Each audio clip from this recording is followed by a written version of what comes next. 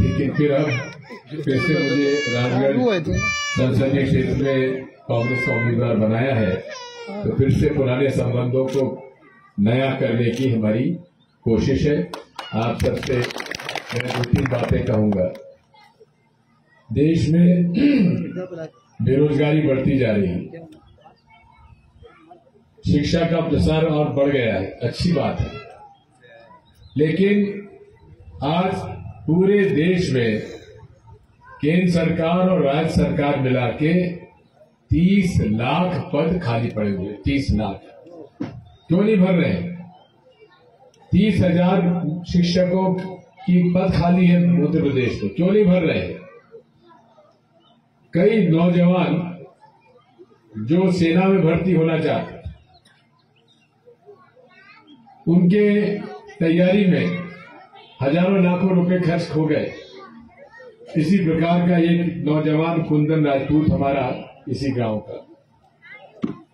इतना निराश हुआ उसने खुद ने आत्महत्या कर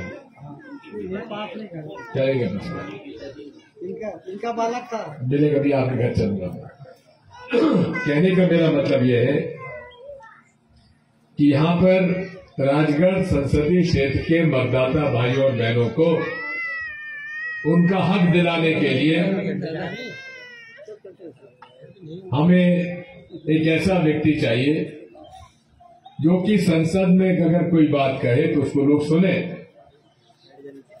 हमारे धूल सिंह यादव जी माफ़ करेंगे, मैं देख नहीं पाया संसद में उनकी बात कोई सुने और उस पर अधिकारी, कर्मचारियों का भी प्रभाव पड़े।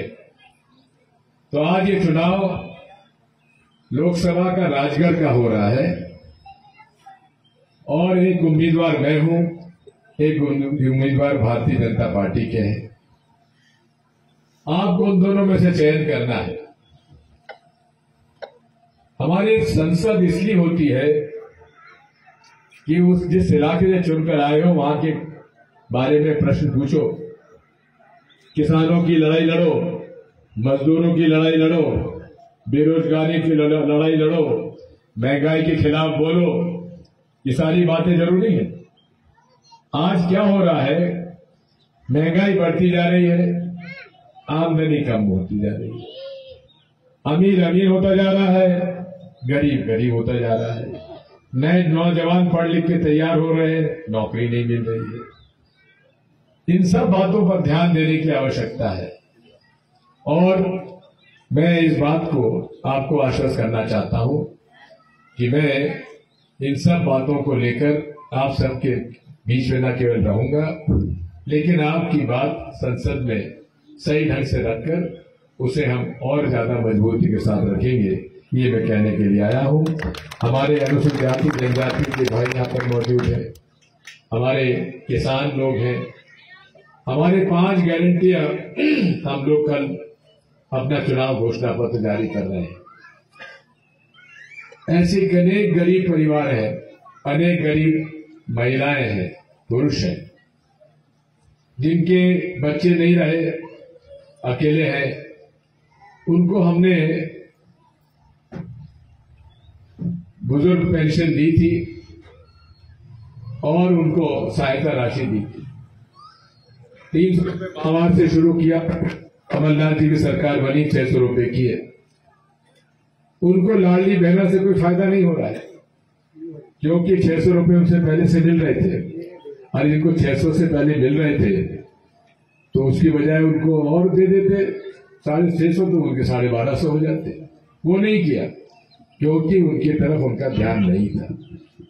इसी प्रकार बेरोजगारों की समस्या है, इम्तिहान होते हैं पेपर आउट हो जाता है, बच्चे इम्तिहान देते हैं।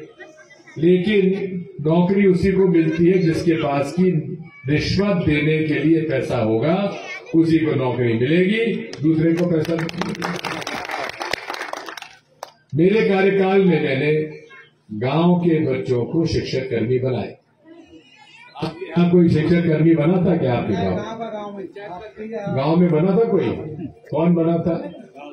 शिक्षक आदमी एक यहाँ नीता है रात कर लिया था एक। और एक उम्र का मन, पंचायत में ले और स्कूल में पढ़े लिखे कम था नौकरी लगी बाबूजी आम लोगों को नौकरी मिली थी। उसकी कब किसी को मिली? तो आंगनबाड़ी कार्यकर्ता